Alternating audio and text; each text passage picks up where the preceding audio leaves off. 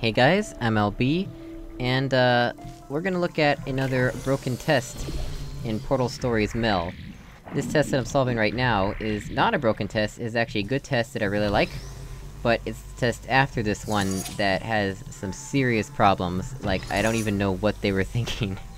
It's- it's a- it's the most absurd test I've ever seen, and you'll see why in a second So, here.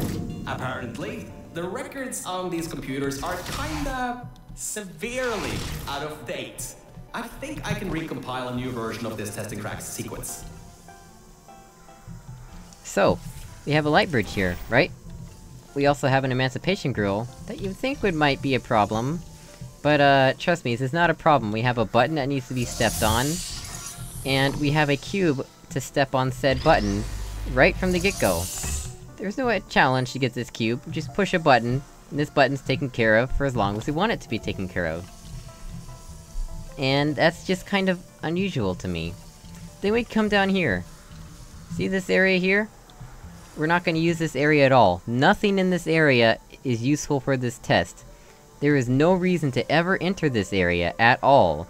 Don't need to step on that button, we don't need to shoot portal surfaces in here, we don't need that light bridge.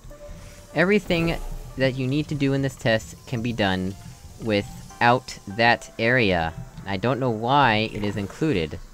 It is mind-boggling to me. I don't understand why this is here, it might as well just not exist. So yeah, let's get this cube, and we will have both of the cubes with us. Now that we have both of the cubes with us, what we want to do is place one of these cubes over here onto this button.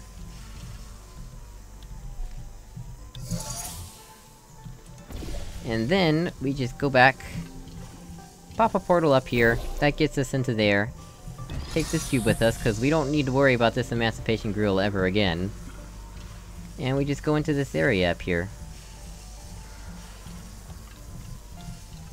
Plop our first cube on a button. Portal here. Portal there. And we just get the other cube. It is literally that simple.